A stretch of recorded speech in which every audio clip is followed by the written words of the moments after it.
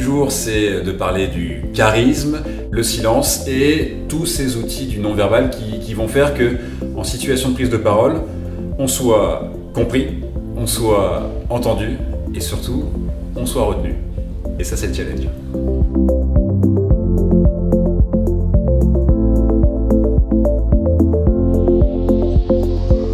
J'ai eu la chance euh, d'être filmée, de pouvoir voir euh, effectivement qu'il y avait des progrès à faire en, termes d'attitude et du coup euh, pour vraiment développer mon charisme.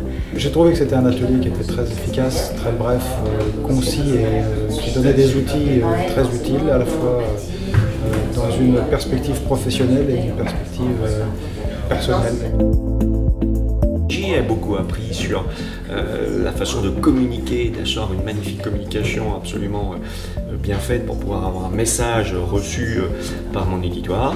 Un groupe très sympathique avec des profils différents, une très bonne écoute, un partage entre l'animateur et tous les membres de l'équipe.